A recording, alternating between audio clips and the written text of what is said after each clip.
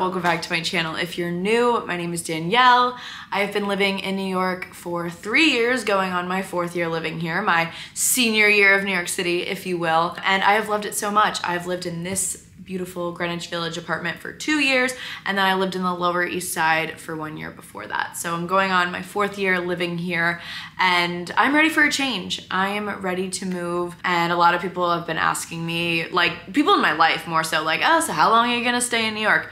I don't know until I'm ready to leave, honestly. Like, I just feel like I'll have a feeling okay, I'm ready to go. I'm really enjoying it right now. I have so many of my friends, my boyfriend's here, I have some family here. It just feels right. I do the podcast with Brooke here in New York. Gals on the Go, go listen. It's where I'm meant to be right now, and for that, I'm very grateful.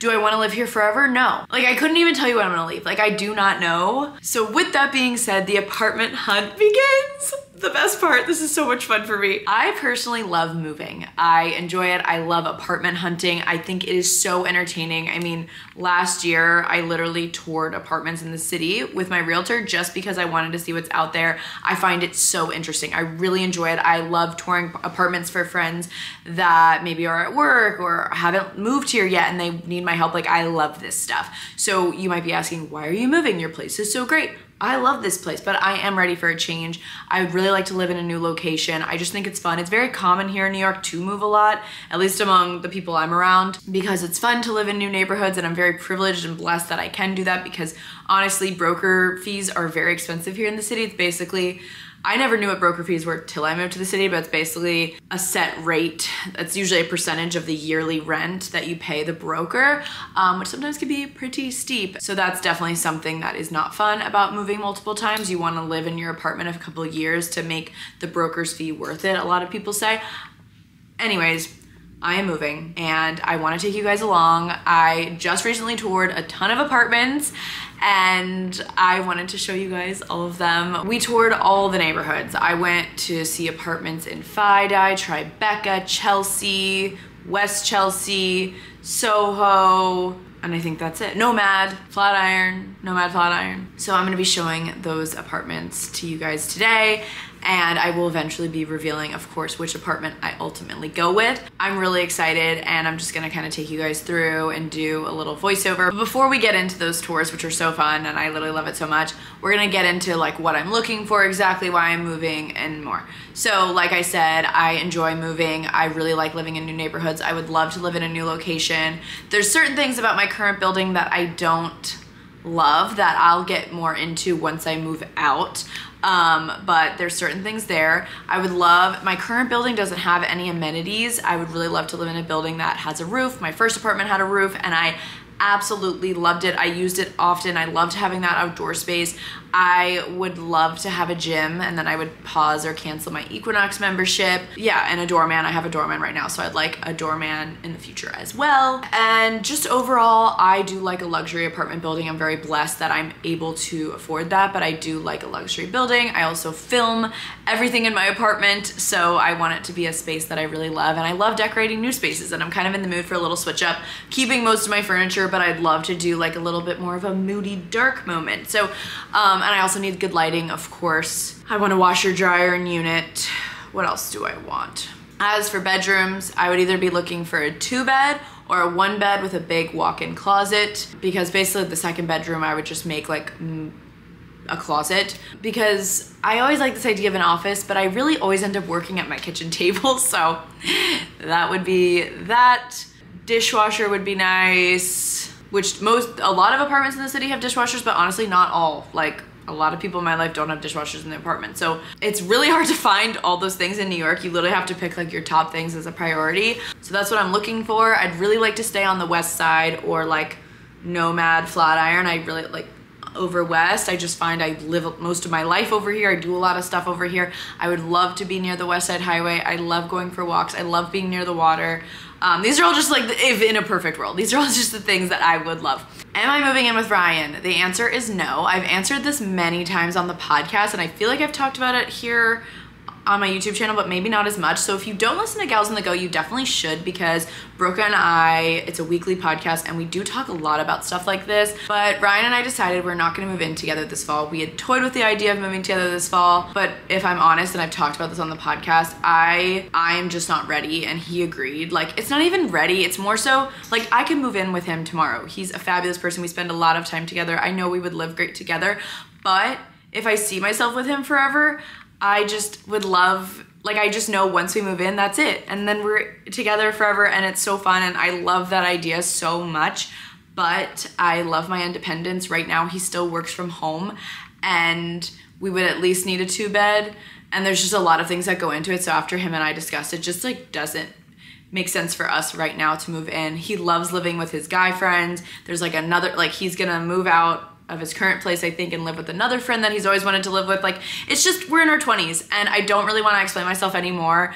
Obviously, him and I love each other so much, and we have a great relationship, but I just, I don't think we, we just don't want to move in together. And that's that. And I don't mean to get defensive, but I feel like I always just get so many questions about it. And that's that. And I'm really happy with the decision. I feel really good about it. He feels good about it. So that's that answer. And then lastly, yeah, so we're gonna tour some apartments with my amazing realtor, Mackenzie Kyle. She's such an iconic human being. She's helped me with my last two apartments and um, I wanted to tour some apartments with her. She's just so fun and she works for Platinum Properties. I'll have her contact information down below because I'll tell her, like, we'll have a call. This is what you would do if you worked with her too. And I just tell her everything I want.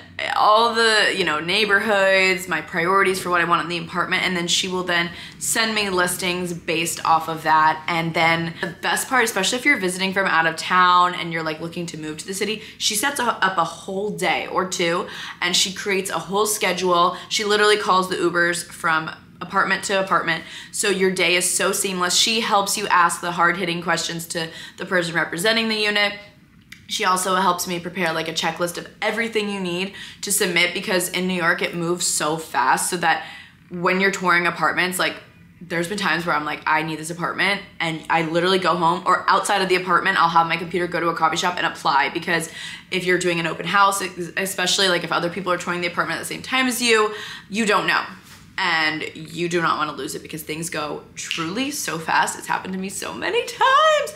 Um, so now I've gotten really good at it. Now when I see something, I'm like, I here's everything you need from me because I'm applying right now. And she has helped me so much with that. So she created an amazing schedule and we toured a ton of apartments and I tried to get really good videos of everything.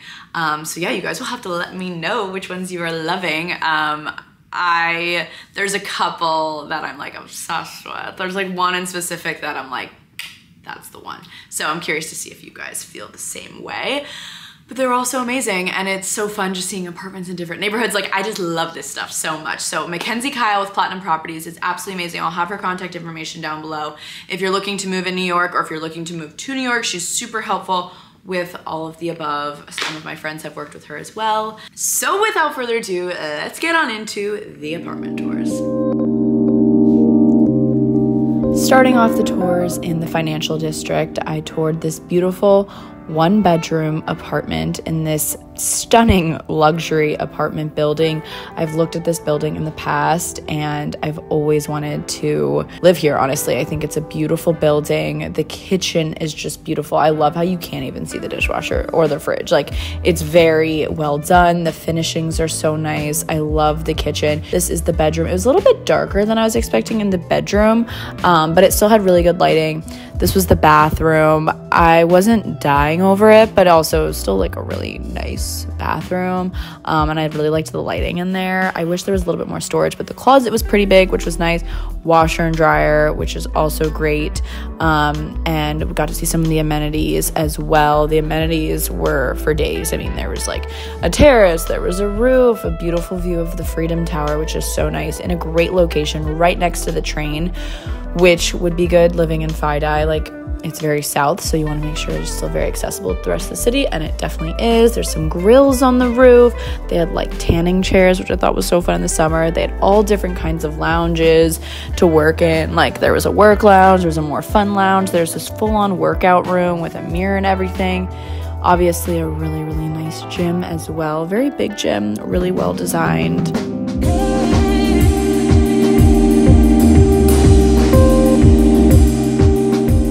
Next neighborhood is Nomad. I absolutely love Nomad. I think it's a really great spot and they have some great buildings. This building was so chic. I loved the kitchen. This is like my ideal kitchen. Um, a little bit on a higher floor. It had this great larder for storage in the kitchen, a wine fridge. Like, how incredible.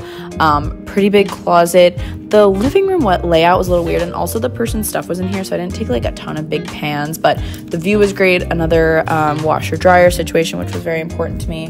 Bathroom was also beautiful. Loved that lighting in the bathroom. The shower looked divine. I also loved how this was a corner unit, and the bedroom was in a corner and had these huge windows.